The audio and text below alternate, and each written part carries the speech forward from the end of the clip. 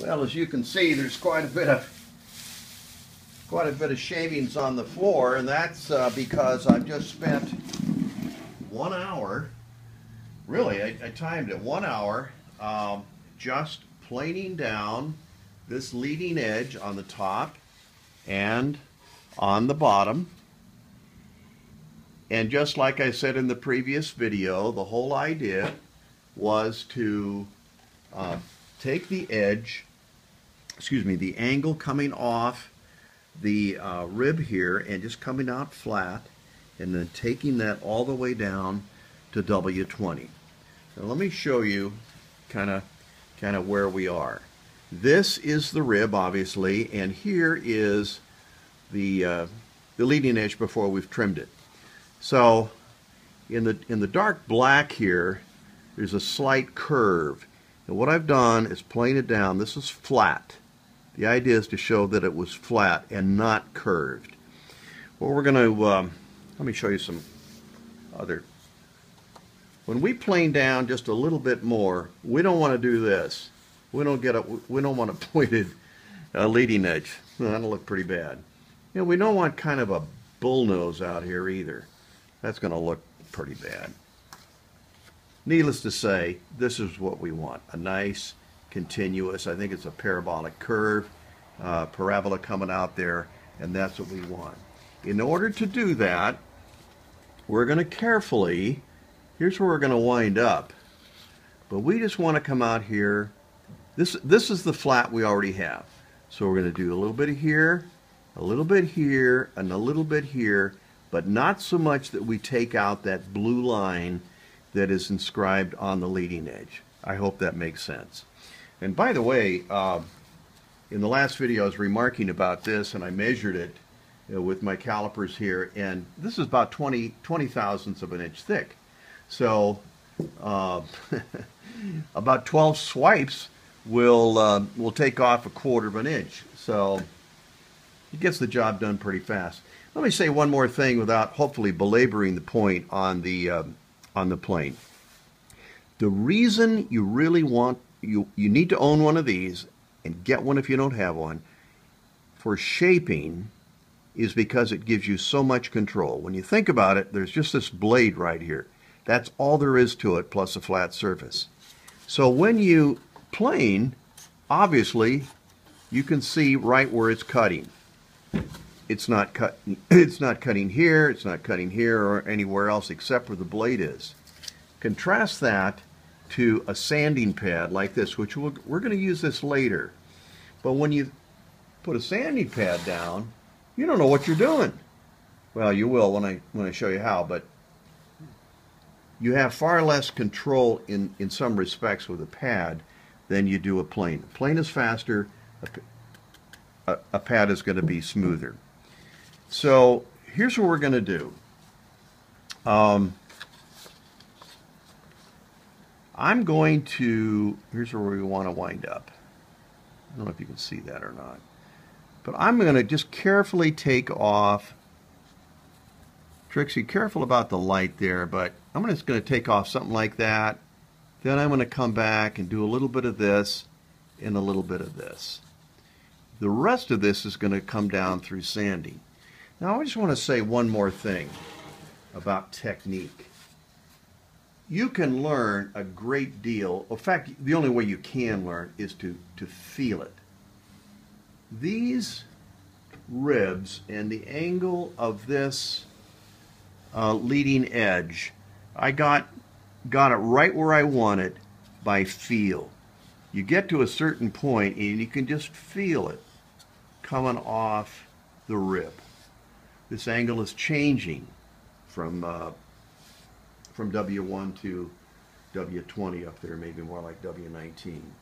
By the way, I did uh, I did uh, uh, plane down, or sort of rough plane the uh, the wing tip, and if we have time, I'll talk about that later. That's that's pretty much done by eye and kind of get it just the way you want it. So here goes.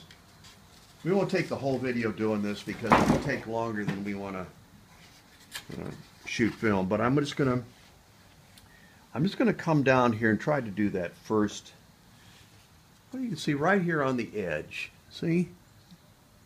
See how that works? So I'm just to take this sharp angle here and kind of divide it. Look at that. No big deal.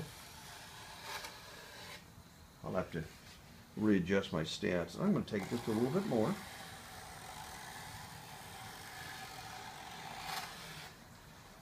And I'm going to feel it. Okay, well obviously I can go some more, so I'm going to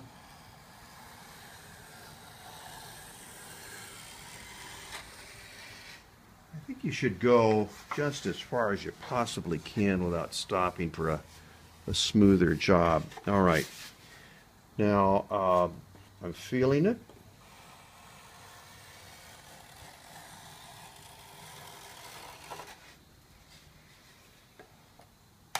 Bit more. I'm not going to go very far here. I'm not going to do uh, both sides on this video. Now, can you see how that's changed a little? All right. Let's take it a little bit more. But we're not going to go very far.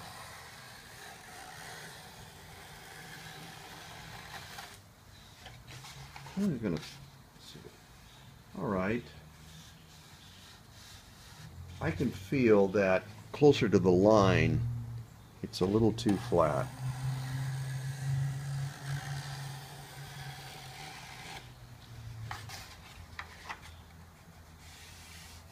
Now, if I take the line out, I've obviously gone too far. Let's do just a little bit more.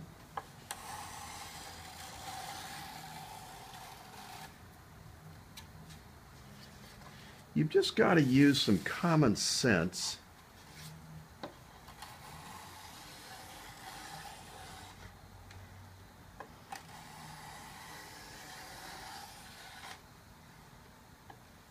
The nice thing about a plane is it won't get ahead of you.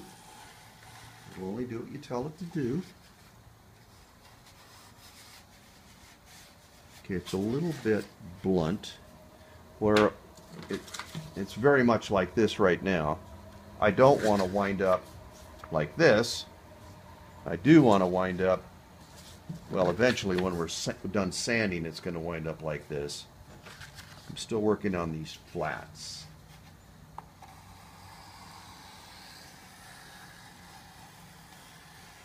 Your sense of, uh, okay, that's coming in pretty nice. It's still a little, it's still a little bull-nosed. I'm not really guessing at this. I'm feeling, and it, it my my fingers are telling me to remove a little bit of stock. And like I said before, you remove with the plane what is most obvious. And I'm not trying, I'm not shooting for perfection. I'm just doing some shaping. And I'm almost ready to stop on this top section of the leading edge. Maybe just a little bit more here and I'll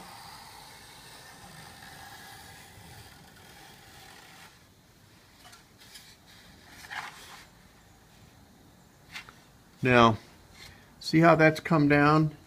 There's about a sixteenth of an inch here. I'll take it a little bit more.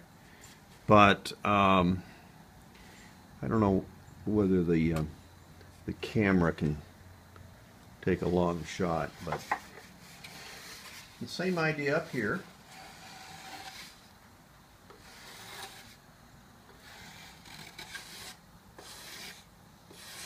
Don't want to overdo it. Just to sort of feel it as it's coming around. Uh, I've said this before, but it but it's really true. It's amazing how, if you're careful, just by the sense of touch, using your eyes, and being very very patient, light touch. I'm not forcing anything here. This will come right around. By the time we're done sanding it, it's going to be. Uh, virtually perfect. And that's what you want.